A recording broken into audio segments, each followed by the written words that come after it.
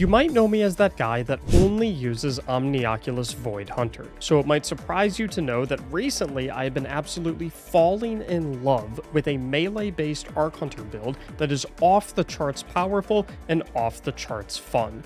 If Void Hunter is the support survivability class, then Arc Hunter is the DPS vampiric counterpart. It's quick, it's flashy, it's explosive, and I'll even dare to say it's invincible. To showcase this build in all its glory and show you how to master it to perfection, I want to try the following three-step process. Step one is teaching you the build itself, what aspects, fragments, armor mods, and weapons to use, along with a Destiny item manager build link that you can use to instantly copy it all onto your Guardian with just a few clicks. Step 2 is walking through the solo flawless Grandmaster Devil's Lair on screen right now, where I talk through how it all works, explain all of its quirks and nuances, and generally just show you the ins and outs of this build through what I believe is a fun and educational speedrun of the strike.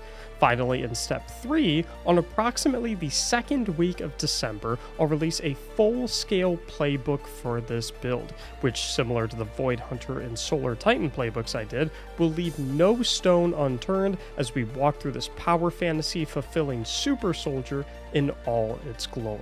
If that sounds of interest to you, I highly recommend subscribing to the channel so you can watch it right when it comes out and thanks for supporting my channel if you do make that choice. So, step one, the build. We'll walk through this pretty quickly since most of the explanation of how we put this all to use will take place throughout the play-by-play Grandmaster in step 2. Aspects, I'm rocking Lethal Current for tons of melee benefits from our dodge, as well as Flow State for amplification on killing jolted enemies. My fragments of choice are Resistance for more durability when near enemies, which is always, Feedback for bonus melee damage after taking a hit, Magnitude for increased lingering grenade duration, and Shock for jolting grenades. For my core abilities, I've got Gathering Storm, Pulse Grenades, and the bread and butter of the build, Combination Blow. For stats, I'm prioritizing Resilience and Discipline, and for armor mods, I've got Bountiful Wells, Seeking Wells, Well of Ions, and two copies of Melee Wellmaker. This results in constant extra bonus damage from melees and a ludicrous amount of instant grenade cooldown. I've also got Hands On for increased super energy from melee kills, Bomber for grenade cooldown refund on dodging, and specific to this Grandmaster, Overload arc grenades on my class item. For weapons, I'm rocking Arbalest for shield and barrier breaks, a machine gun as an extra overload stun option, and most importantly, a 1-2 punch shotgun. Typically, I hate running double special, but with this build, you are killing everything with your punches, so a primary weapon isn't exactly needed.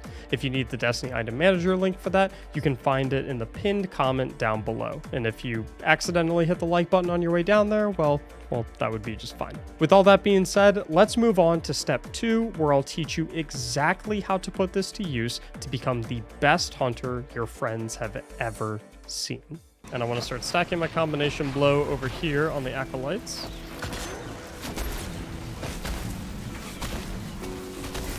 Even though there's literally two ships, I guess kind of counterintuitive. But I want to get times three, and then I have my overload grenades on, so I'll just chuck an overload grenade at this captain, one-two punch, and then he dies in two hits. I want to get a quick melee off my combination blow, though, before I start going.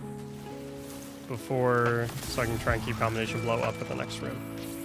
When is the ARC playbook coming out? Like a couple weeks, probably like first week of December, second week of December maybe. So make sure to subscribe if you're watching on YouTube so that you can see that right when it comes out. Nice plug. Just gonna work our way through all these guys. And by the way, uh, so you'll notice I do like three big chunks of damage. One is from my melee, and then the other is from the damaging aftershock from lethal currents. Like that explosion right there is from lethal current. You get a damaging aftershock every time you melee something after you use your dodge. And that also stacks with combination blow, so if you have combination blow X3, like it's gonna do a ton of damage. What I don't know what just happened there with my melee tracking. The reason I jumped right there, by the way, is for whatever reason, melee hit registration is really weird in Destiny, where like sometimes you'll try to melee something and it won't connect with the target. Or it'll connect with the target, like it'll track to it, but it won't do damage. I noticed that the most common cause of that is when you try to melee something that's on a different elevation than you. So, especially for like floating enemies like wizards and servitors, it can be really, really helpful to avoid that issue by like jumping up to their elevation before trying to melee them. Okay, I killed both of those guys. One from the Jolt, which is nice. And as far as I can tell, by the way, the Jolt does not make you invisible from the effects of Assassin's Cowl, but the damaging Aftershock from Lethal Current definitely does. So if you punch something and like right there, boom, see how I didn't kill with my initial punch, but my damaging Aftershock from Lethal Current did, still made me invisible.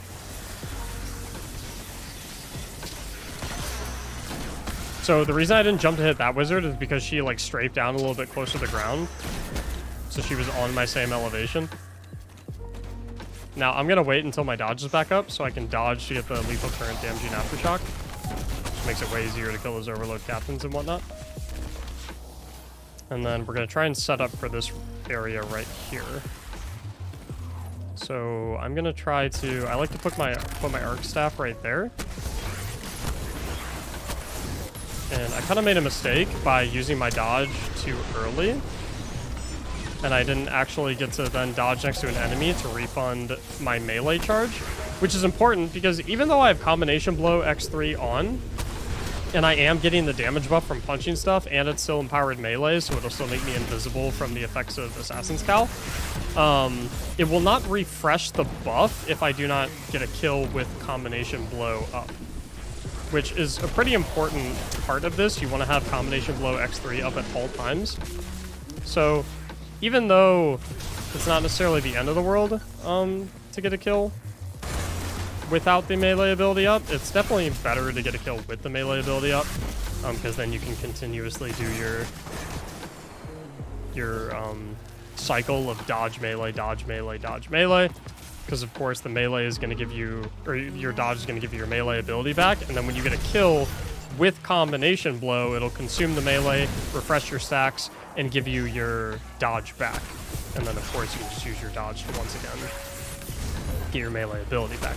Now you notice sometimes that I'll kill things with the punch, um, and it will not eat my melee ability, it will not eat my combination blow, and simultaneously not give me back my dodge.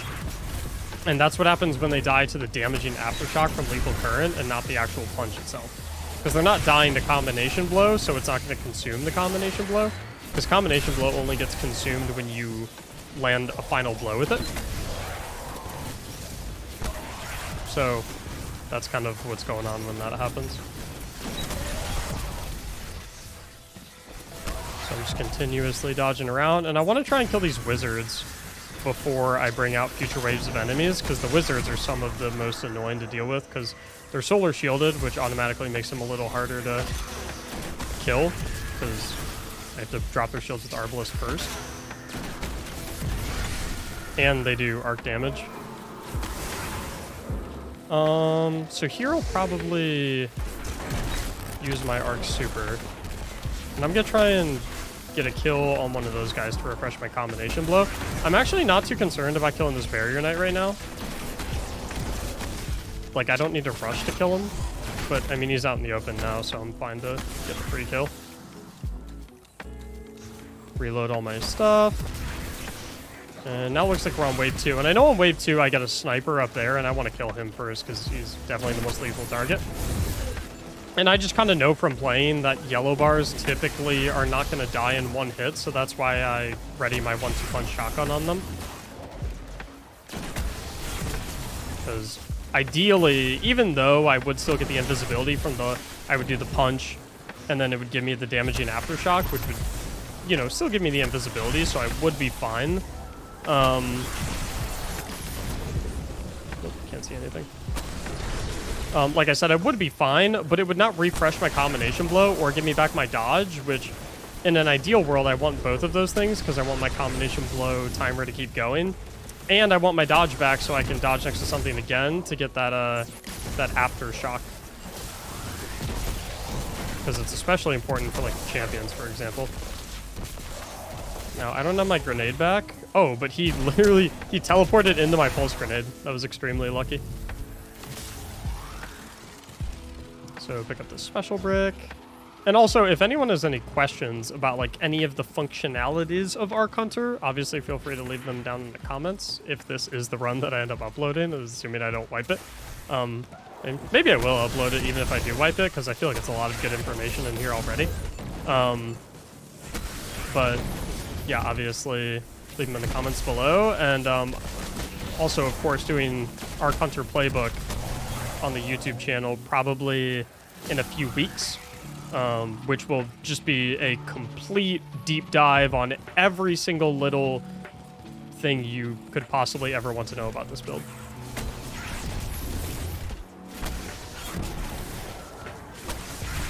Okay, so we're going to clear out this room a little bit. I got to get the servitor. And then I really want to get these two snipers up here. A ton of snipers in this area that I usually try and wipe out first. And I'm actually going to try and throw my arc super at this brig. Because obviously I can't go running around punching the brigs. Not really going to work out too well. Um, so I got to use my arc supers on them when I have them up. Because I get my super back pretty quickly. Because I have um, hands-on, which gives me extra super energy when I get stuff with melee kills. Um, and just like, you know, I'm killing a lot of stuff pretty quickly. So, pretty nice to... Okay, here's a yellow bar, so I have to one-two punch shock on him. And I'm to hang tight, because the tank is aiming literally right there. And he... That was maybe a little risky, because I didn't necessarily know with 100% certainty that that punch, or that that shotgun wasn't going to kill him. And if my shotgun shot kills him there, that's really bad. Uh, because then I have nothing to punch to get my invis back. And I hear the walker about to do his little ground pound. Just get it back out. And see, like, I literally almost have my super back, so the super comes back really quickly. And I'm actually going to try and get the hell out of here. Because my invis is coming to an end. Actually, this guy is going to save me in that, in that front. But I think a big part of this build is kind of knowing when to retreat when to call it quits. Like, for example, right now, I think it's time for me to stop greeting for greeting for punch kills. And I'm just gonna go for the kill on this brig. Because the brigs, like I said, I do have to kill with um my weapons. Because I can't just go running up and punch them, they'll just kill me with their ground pound. And he's about to do his big gun, so I'm gonna rotate out, get all my reloads off. This is the one part where I can't just like frantically punch everything. But I got one brig dead, which is really nice, because the brigs are definitely... The brigs in the tank are by far the hardest part of this solo. I mean, the walker's not. Or I, I said the tank was one of the hardest parts. So never mind. I already covered my base on that. And I did I throw my stick at this guy? I think I did throw my arc super at this guy, but like clearly he must have just like walked out of it because it doesn't really look like it did anything. So just gonna slowly but surely. Like on the bright side, I don't really need the ammo of this gun. I brought it um, to overload the captains, but obviously I have overload on my pulse grenades. And with the way that my build is currently set up, where I basically get, I think, 30% of my grenade back on every melee kill from the wells it generates. It's either 30 or 20%. Um, but yeah. Since I get so much grenade energy back, um, and my grenades insta-stun the captains, it's not the biggest deal in the world that um, I lose all my heavy machine gun ammo, because obviously I have, like, theoretically infinite grenades, because it'll always recharge. Okay, so now I need to find a way to get back into the fight with my invisibility and with my 3x combination blow. So I'm just going to kind of like roam the field a little bit to try and find a dreg. So that guy right there is my perfect target. I think I might put some heat into the walker first though.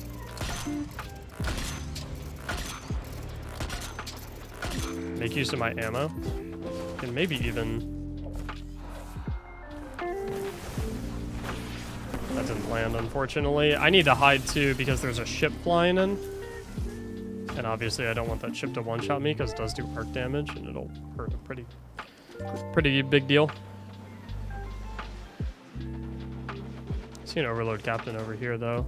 I should have killed this guy when I was, like, doing my loop, because he's right in the center, and kind of need him dead. But what I'll do here is I'll, I'll kind of weaken up the dregs. And then if I can get to that one, then I'm I'm golden. So it's kind of the riskiest part of this, I would say. The dreg left. JK, no he didn't. I thought he left for a second. I thought it, like the run was just toast. But now I can start stacking and get back to 3x.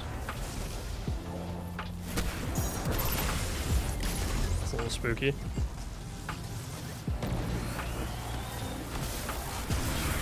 Shank. Okay, now I'm 3x again.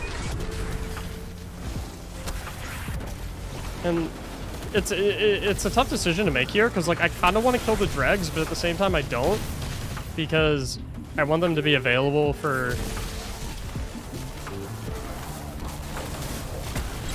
Sorry, I, I couldn't talk because I was in like panic mode because I stunned the captain, but then the captain wasn't there anymore, and I was like, well, I don't really know what to do about this.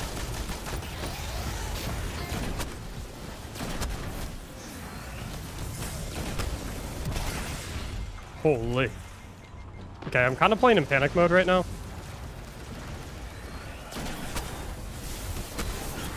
Because I need to get my combination blow stacks back up. So there's two. I don't, I can't see where the walker's shooting. These fallen web mine slows are the biggest pain in the ass. Okay, I have combination blow X3, so I'm going to use it to kill this servitor which will kind of like open up the middle for me a lot more nicely. And then I'm going to go for the kill on this captain. I messed up my one-two punch, so it's very dangerous, but it still kind of worked out. But I would say that, this area, if you're trying to practice this build, is incredible because the biggest weakness of this build is trying to find a way to get into the fight. Because once you're at um, once you're at your times three, like, you're good to go. Once you're at your combination blow times three, you're chilling. You can roam around and one-shot literally anything, even champions. But getting to that times three is the difficult part.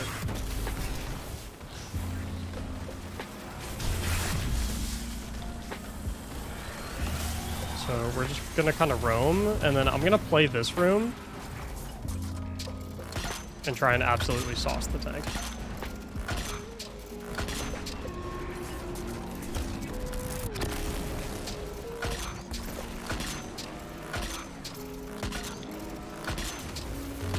If I can kill the tank here, then I'm liking this run. Big. Now the problem is... I need to stun this overload captain right off the rip. Huge. And then I need to get my combination blow stacks going so I can actually kill him. Okay, good. Then get my dodge for lethal current, grenade to stun, and we're good. Because I'll body shot the dreg with Arbalest. Okay, I don't, I have literally zero clue why the first one did not count.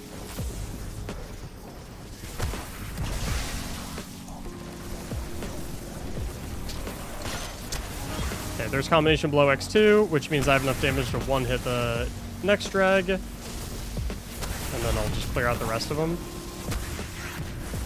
And then I'm just gonna play kill these overload chieftains, captains, whatever they're called. And I find the other one.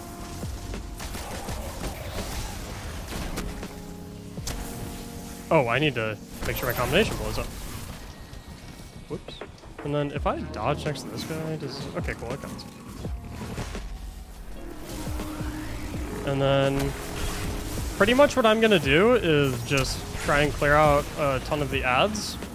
And I'm actually going to kind of go underground here because I want to throw the spear at that guy. And then I want to like hop up and find something to melee. Like come from underground. Because if I stay above ground when I throw the spear, um, then I'm definitely just going to get lasered. Which is no good. Okay, so I already have the servitors up, which is really nice. But I want to keep punching stuff because I really want to get my super back. So that right when I break the servitors, I can go for uh, go for another super. The problem is there's explosive shanks up, which explosive shanks always make a pretty big problem. So I'm probably just going to retreat now. Because I really don't want to deal with explosive shanks. And I'm out of Arbalest ammo now, which is actually really problematic, but I'll get a few from this brick. But I only get two. So I can only really use Arbalest to break the shield now. And I want to go for a punch here. But at the same time, I need to be careful because explosive shanks. But it looks like I actually killed most of the explosive shanks, so I think I'm actually okay now. I was hoping to get some more ammo, though, which is why I came out here in the first place. I'm kind of trying to hunt for some green ammo. I really need it. But it looks like there isn't any. I'm gonna... Okay, I see some down below. I need to get my in, uh, invis timer back up to go for it. Oh, and my shotgun ammo is full, so I actually get the full brick of that towards Arbalest, so now I'm actually pretty good. Uh, in the Arbalest department. But I'm just going to use Arbalest to uh, crack the shields on the servitors. I'm not going to use it to actually kill them, even though it would be a little faster to kill them. Let me reload this real quick, too. Because I need to make sure that I have enough Arbalest ammo to... What's it called? Kill the next set. Which I need at least four shots to break the shields, right? I mean, technically I don't, but... It'd be a hell of a lot easier. And then what I'm going to do here is I'm going to pop right back out and throw my spear. So I get a nice chunk of damage early on, and then I can start looking to try and restack. It's like, look at the damage that's doing. That's going to be my main source of damage. But now I'm going to look for a way to start stacking my combination blows so I can get back out there and start nailing everything again. Ideally, some enemies come down here, which sometimes they will. Because this is a really tough push to make. That right there.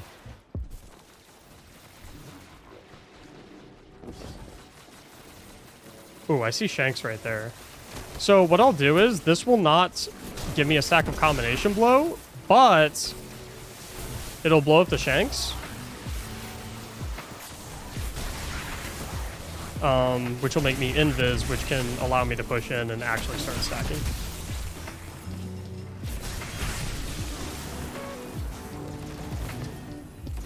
And then I'm actually so that that's not going to refresh my combo blow because it's the damaging aftershock that's going to kill him in that particular instance. But I didn't know. So here I know I can one-two punch safely. The reason I didn't do that on the other one is because he was a little weak and I didn't know if my one-two punch was going to kill him. Because, again, if my shotgun gets the kill there, then I'm left out in the open with no invis and, like, pretty dangerous position to be in. And so my super is almost back up now. The unfortunate thing is it seems like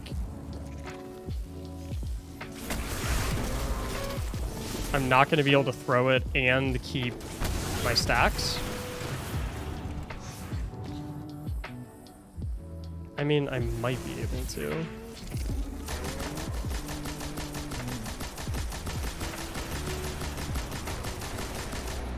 Actually might just be able to phase the boss. Just like this. Yeah, so I lost my stacks, so I'll need to go for stacks again. Which does suck a little bit, but it's kind of okay. I want to try and get a spear on the boss. There we go. And then that'll take him to the final set of And so what I can do here is, remember, damaging Aftershock. It won't give me my combination blow stack, but it will uh, make me invis and make elemental wells, and then I pick up the wells, and then my wells of ions procs so that I get extra damage on my next melee, which then does give me enough damage to one hits the next shank, even though I don't have any combination blow. So now we're just playing out here, being a little dangerous. I'm gonna go for this. It's kind of stupid for me to go for this. But I'm really good at being stupid.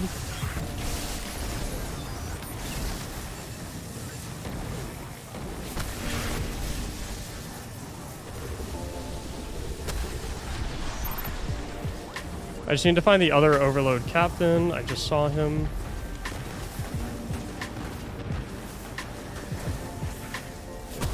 God bless that there was a Marauder right there randomly for me to keep my invis chain on. And there's some guys down here, which is really nice. So I'm just kind of, I'm kind of keeping my invis alive on all these random trash enemies. Oh, okay. You were in a perfect spot. So now I get platinum, which, you know, if you're doing a solo falls GM, you gotta do platinum. Otherwise, does it really count? And I'm just gonna wipe all the servitors. And I have a ton of Arbalest ammo, so I can actually afford to use it on these servitors. I'm actually shaking right now. This is not good. I do not like being nervous. And I kind of want to go out and go for a spear immediately on the boss, but at the same time, I don't want to give him an angle to hit me. What is this one doing? There you go. I feel like it's kind of a bad idea to... Oh, hold up. Brilliant. And then I pick up a well. Gives me Well of Ions. Melee damage bonus, as you can see.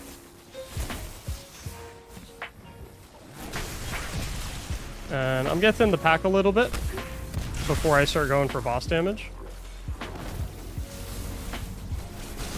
I need to get the shank, so I make sure I get combination blow X3.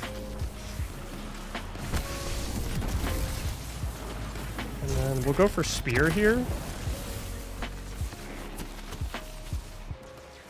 And I'm hoping there's an enemy down here. There's not, unfortunately.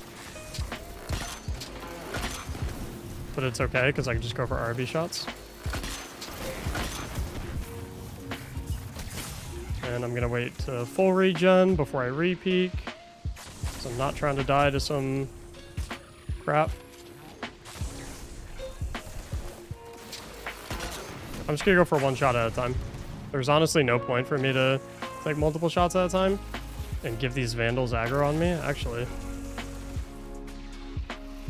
Can I just snipe this dude?